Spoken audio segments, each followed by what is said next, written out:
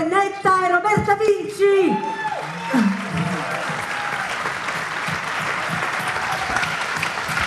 Non potevano che essere tutte per loro, Flavia Pennetta da Brindisi e Roberta Vinci da Taranto, le attenzioni del galà dello sport pugliese organizzato dal CONI regionale.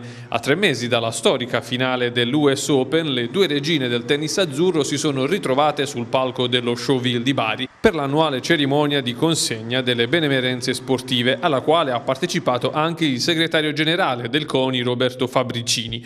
Quasi 130 i premiati fra atleti e società. La serata è stata aperta dall'esibizione delle farfalle azzurre di ginnastica ritmica, fra queste anche la giovinazzese Marinella Falca che con le sue compagne conquistò l'argento alle Olimpiadi di Atene.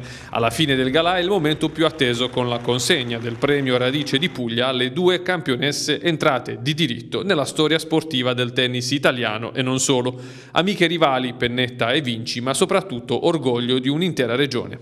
Stasera parlo anche per Roberta perché comunque so che lei è della, insomma, la pensa come me, è bellissimo perché comunque noi giriamo tanto il mondo, siamo sempre in giro, però alla fine questa è la nostra terra, siamo legatissime alla Puglia, siamo onorate di, portarla, di portare in alto il nome dell'Italia e della Puglia al mondo. E...